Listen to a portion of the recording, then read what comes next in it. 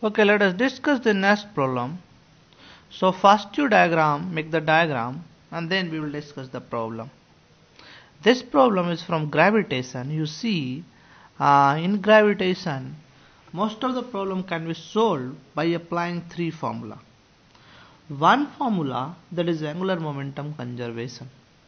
So if you apply angular momentum conservation, you will get one equation. Another equation you will get that is the total energy remains conserved. So from energy conservation you will get.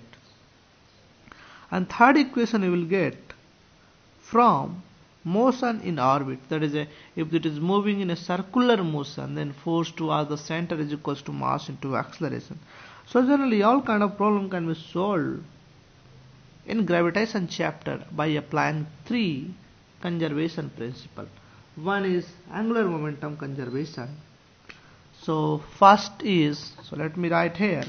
So first equation we will get from angular momentum conservation. So here, so let me write L is constant. Another equation we will get from energy is constant. So total energy remains conserved. And third equation we will get force equals to mass into acceleration. That is the Newton's law.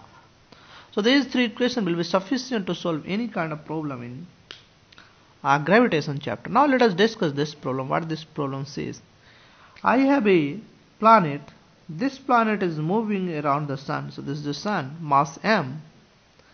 And this planet moves in an elliptical path. So I don't have to do anything without about the elliptical path. I have to apply simply these things, energy conservation and angular momentum conservation. The nearest distance from sun is r2 and most highest distance or this the farthest distance from sun where the planet goes is r1 and let us say at nearest distance velocity is v2 and ha, that is the uh, farthest distance velocity is v1 so what are the things that is given to you? Mass of planet m that is given mass of sun m that is also given radius is also given r1 is given r2 is given v1 v2 is not given. So v1 v2 are basically unknown. You have to find angular momentum of sun angular momentum of planet about sun. So what is the angular momentum of sun about the uh, about angular momentum of planet? So angular momentum of planet basically i'm interested in planet. Or if you have a satellite so this may, may be a small planet this or this may be satellite so angular momentum of planet or satellite. So what is the angular momentum of satellite you have about the sun? So let me see how many of you are able to do. We have given us enough hint. You have to apply the two conservation will be sufficient. Momentum, angular momentum conservation and energy conservation will be sufficient in this problem. Okay. So let us take 2-3 minutes and do this problem. Then we will discuss the solution part solution part is not very tough one. So do this one. Okay guys. Some of you might have done correctly and you have got the answer. Now let me try. Now you see here angular momentum is at this point and this point. I have to find because the system has only internal forces and this forces if I consider the angular momentum about sun all the forces are going from sun because Gm and m2 will go from sun. So this force will pass through sun. So there is no torque acting on this object about the sun. So I can apply the angular momentum conservation. So V is this one and R1 is this one. This is the farthest distance. So this is perpendicular.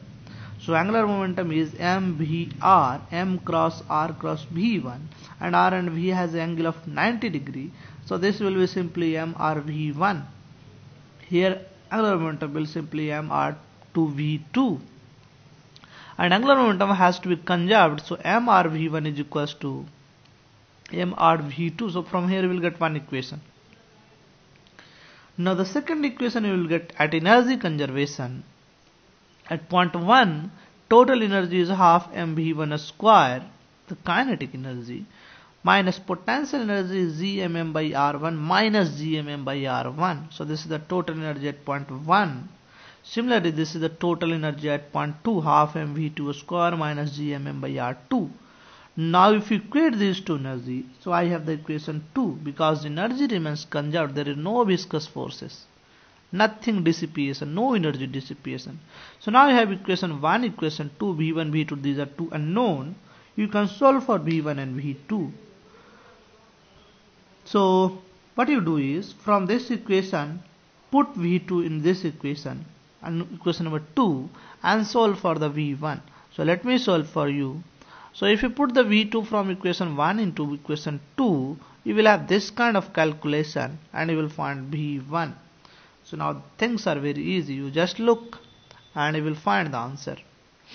So you see half uh, if I multiply by if I cancel m so I will write this equation. So m goes out.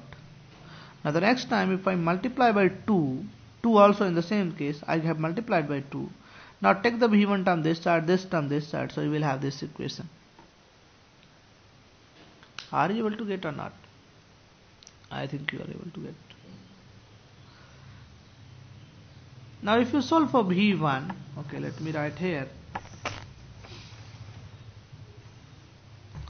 So if you solve for V1, you will have V1 square is this and let us take R2 minus this becomes R2 minus R1 by R1 R2 this becomes R2 square minus R1 by R2 square so now R2 minus R1 square is R1 plus R2 into R2 minus R1 R1 R2 minus R1 so R2 minus R1 cancels out so you will have simply R1 plus R2 by R2 this side you will have 2gm by R1 now are you getting or not now if you see for V1 you will have 2 gm R2 by R1 plus R2 so this goes this side. So 2 gm R2 this comes this side. So this becomes R1 into R1 plus R2 so this is the B1 velocity B1 so angular momentum about sun about point 1 that is the about sun is same as about point 1 uh, of point 1 angular momentum about sun of point 1 so of point 1 is